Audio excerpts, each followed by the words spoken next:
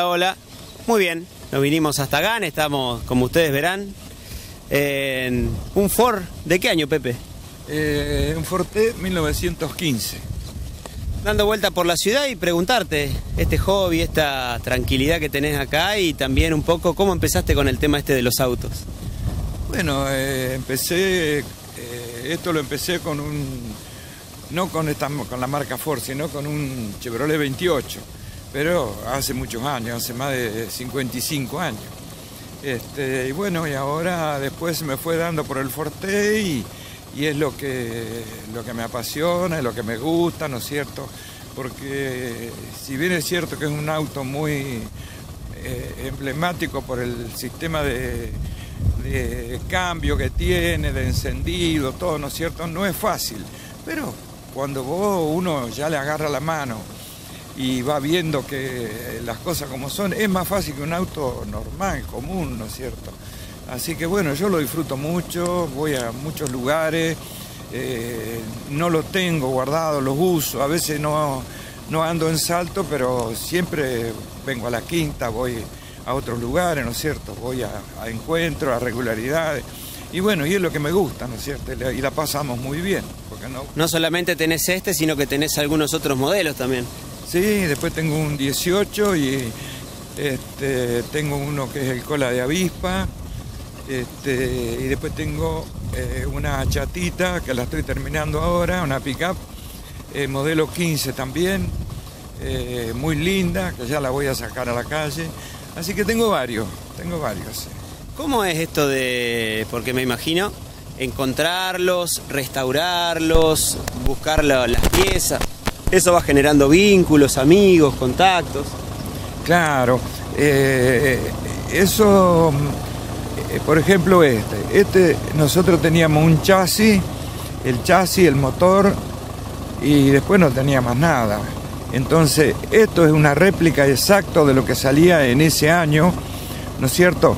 Pero eh, Forte vendía el chasis, el motor, el radiador y el torpedo, ¿cierto? Después y las ruedas. Y después vos arriba o había, había fábricas que hacían, te vendían kit.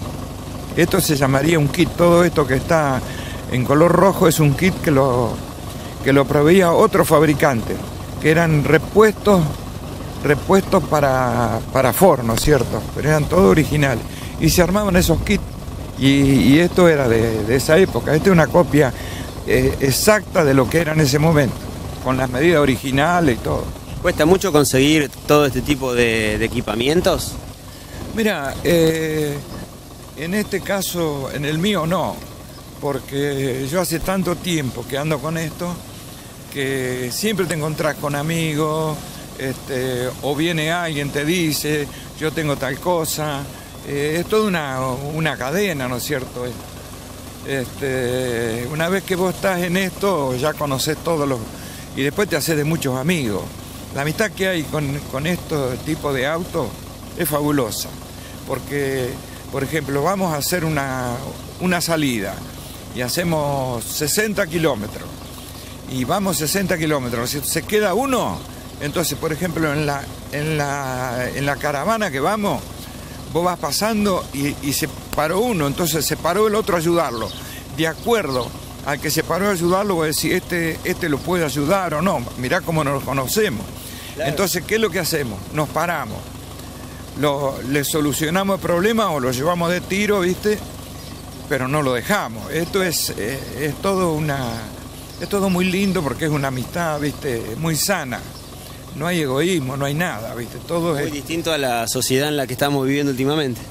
Sí, por supuesto, eso, eso es otra cosa, ¿no es cierto? Pero esto vos, nosotros salimos, disfrutamos de esto y disfrutamos de los amigos. Eh, hace cosa de 15 días me llama un amigo y dice, che, no querés venir, te dice, eh, acá Santa Rosa, Calamuchita, ¿te animás a venir? Dice, este, con el auto. Eh, sí, le digo, ¿cómo no? Este, me dice, si tenés algún amigo, invítalo para venir. Bueno, nos juntamos 14 autos y fuimos. Estuvimos cuatro días en Calamuchita, la pasamos espectacular. eh, siempre en el grupo este, en el grupo de, estos autos, son todos conocidos, ¿viste? Eh, uno puede tener un auto mejor o peor, o puede tener un problema de otra cosa, ¿no es cierto? Pero es, es todo, nos ayudamos entre nosotros. Hablando un poco de tu trayectoria, sabemos que el garage y todos esos programas y canales tan reconocidos siempre te tienen en cuenta, sos una voz de consulta a la hora de hablar de este tipo de, mecánicas, de vehículos.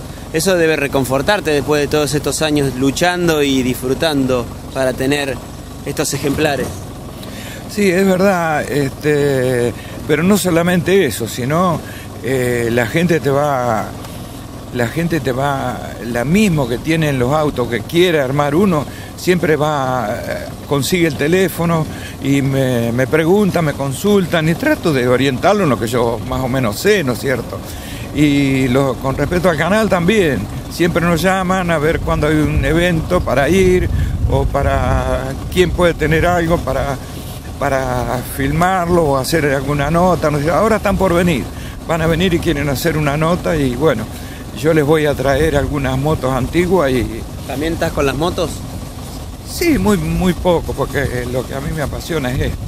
Pero vamos a hacer una, unas motos de uno de Chivilcoy, eh, uno que le dicen Pirulo, después vamos a traer una nota de, de, una, de una moto que hizo uno de Chacabuco que le puso un motor Villa bicilíndrico, que cuando vean la nota esa es bárbara. Y después también quiero que le hagan una nota a Billy Cilia, que ha hecho algo maravilloso, espectacular lo que ha hecho.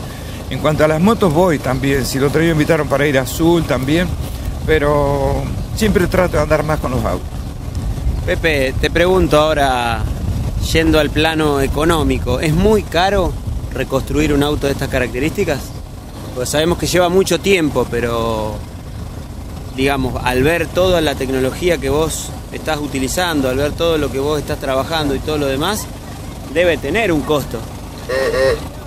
Este, mira, sí, lo que pasa que mm, eh, lo que vos decís, si vos tenés que armar uno, sí, te sale mucho, porque esto eh, eh, no hay más chapista que pueda hacer esto, ¿no es cierto?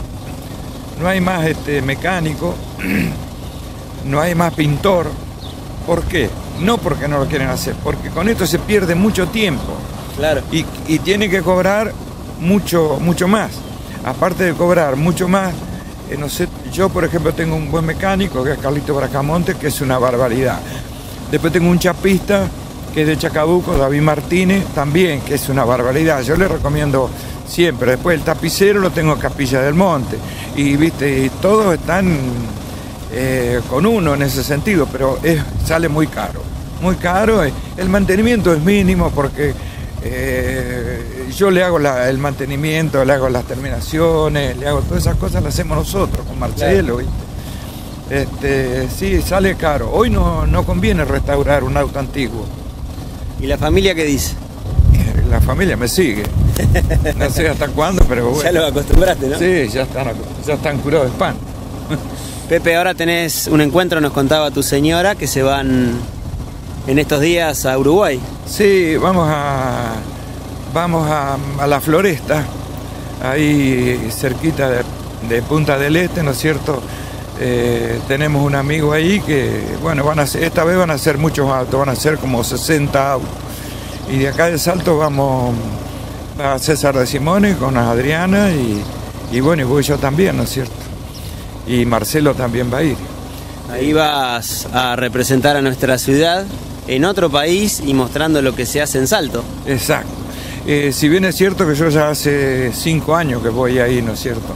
Siempre se hace en febrero. Incluso te digo más, hay algunos, eh, algunos eh, febrero que cayó justo el día de mi cumpleaños y bueno, me festejaron el cumpleaños ahí. Ya sos un tipo conocido del ambiente. Sí, sí, somos conocidos hace un montón, un montón de años, ¿cierto? Porque ellos vinieron a Salto.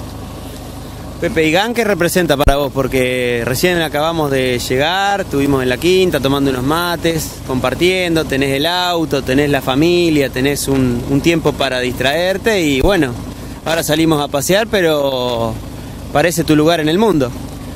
Sí, nosotros venimos acá a GAN y hace más de 35 años que tenemos la quintita ahí, ¿no es cierto? Y, y bueno, venimos los domingos, Anabel viene bastante, Marcelo también, este, y la pasamos re bien. Ahora no, no, no, nos vamos a comer el asadito y que, está un día espectacular y, este, y le pasamos bien, venimos siempre.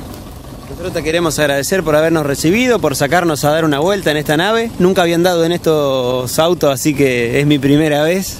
Muy cómodo, por cierto, así que más que agradecido y ya te dejamos que sigas compartiendo este día en familia.